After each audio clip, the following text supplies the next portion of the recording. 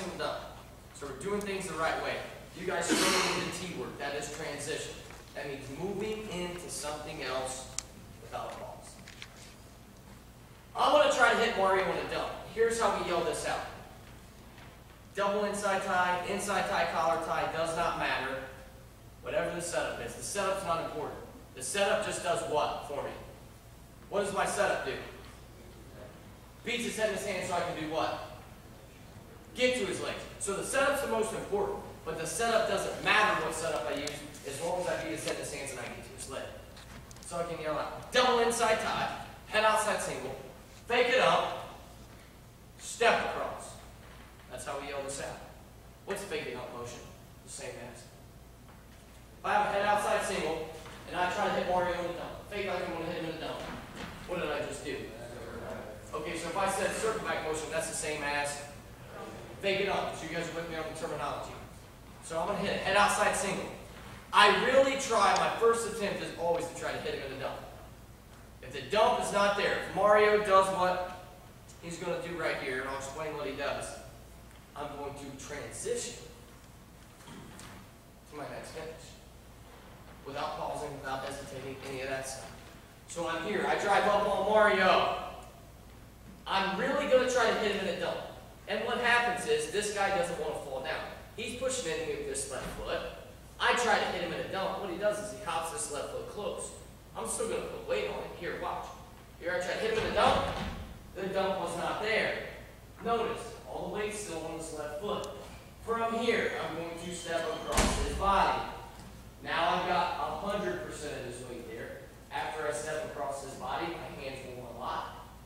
I will come right here to a double leg. I will pop, drive, repenetrate. Pop, drive, repenetrate all the way across.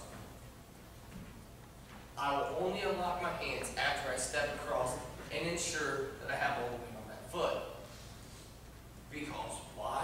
If I don't, for some reason, happen to get all the weight to that foot, we're going to do that T word again. What is it? We're going to transition. We're going to go to a different style finish that's going to help me lift me behind. But for right now, all I'm doing is stepping across to a double. All right? We shortened it from step across double to just step across. You guys understand that? I'm stepping across to a double. Here, I will only unlock my hands after I do this. Step across his body.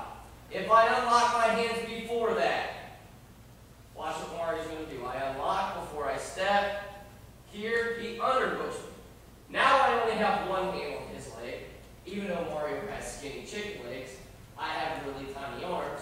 His leg is stronger than my arm. He puts his foot on the mat. He starts to get my head down. And now I'm fighting a front headlock. Your one arm is never going to be stronger than his one leg. I promise. Even though he's got skinny little chicken legs. Alright, I've got skinny little tiny arms. He's going to beat me. Alright, so here we go. Into him. I try to hit him in a dump. The dump's not there. Here, I step across. My hands unlocked. Pop drive. Repenetrate. All the way through Mario. Understand this. The closer my fake a dump and my step across motion are, the easier this finish becomes. Here we go. I'm just going to do it slow and smooth with no pause. Here. Did I pause? Did I stop moving? It's a natural transition into the step cross. One more time, here just a little faster. We'll go double inside tie. Here, head outside single. Into him, circle back, into him, circle back. And